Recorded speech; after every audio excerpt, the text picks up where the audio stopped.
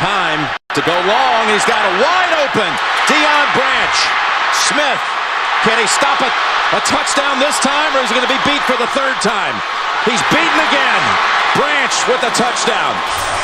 There's no way to put it. This defense is just not very good.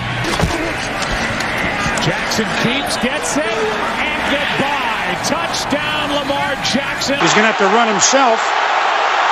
First down. Get out, Philip. One catch, two fumbles. Uh, he's absolutely disgusted with himself. Uh, he should be. Andy Dalton, apparently he was sick, throwing up all night on Saturday. Oh, that's what was wrong His with it. fans were doing the same thing after watching him play in the first half on Sunday. Right, throws on the run, and a terrible pass. Ball is out. It is picked up by the Broncos. Roby. Yeah, it's tough. At least he held on to the helmet. 10-5 touchdown. Well, that play right there just cut about seven people.